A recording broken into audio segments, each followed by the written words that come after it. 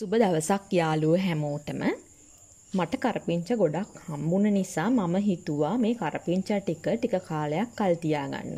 මොකද මේ දවස්වල හැමදේම අපිට වටින නිසා කිසි දෙයක් විසි කරන්න අහක දාන්න බැරි නිසා. ඉතින් මං මේ වීඩියෝ එකෙන් කරපිංචා ක්‍රම දෙකකට කල් තියාගන්න හැටි ඔයගොල්ලන්ට පෙන්වනවා. මම මේ කරපිංච හේදුවේ නම් නෑ මේ දවස්වල වැස්ස නිසා උයන වෙලාවට හෝදනවා.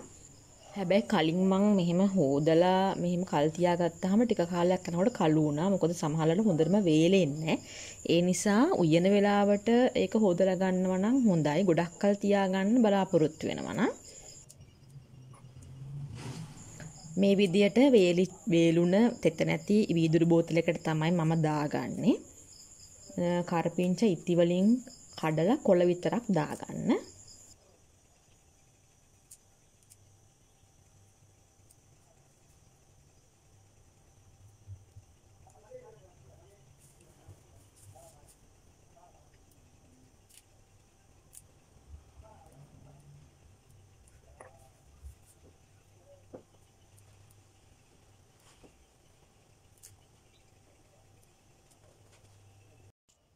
දැන් මේ කරපිංචා තියෙන මේ බෝතලයට මම උළුහාල් ඇට පහක් හයක් විතර දානවා.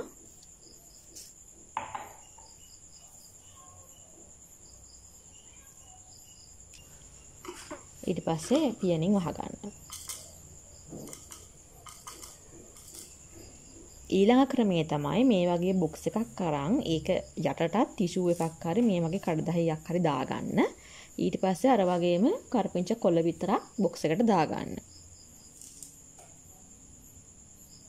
මේ ක්‍රමයක් ගොඩක් සාර්ථක ක්‍රමයක්. ඕගොල්ලෝ මේක ගොඩක් හම්බුනොත් දෙවිදියටම දාලා තිබ්බත් කමක් නැහැ. එතකොට වැඩිපුර කාලයක් තියාගන්න පුළුවන් එකත් අපිට හොයාගන්නත් පුළුවන්. උදේට උයන කොටත් මේ වැඩේ පහසුයි. කැඳ වගේ හදන කොටත් මේ වගේ මේ ලැහැස්ති කරලා තියෙනකොට ලේසියි උදේට. ඒ නිසා ඔයාලත් මේක කරලා බලන්න. තව මම එළවලු කල් තියාගන්න විදිය කොරෝනා කාලේ වීඩියෝ එකක් දාලා තියෙනවා. ඒකත් අවශ්‍යය ඕනනම් මේ උඩ ලින්ක් එකෙන් බලන්න. දැන් මේ කරපිංචා කොළ තියෙන බොක්ස් එකට මම අබ ඇට තේ හැඳි භාගයක් විතර දාගන්නවා.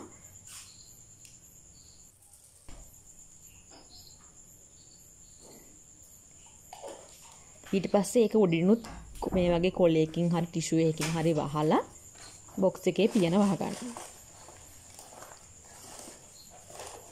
මේ භාජන දෙකම ෆ්‍රිජ් එකේ යට කොටස දැම්මහම ඇති.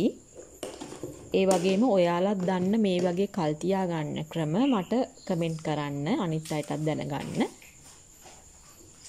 හැමෝටම සුබ දවසක්.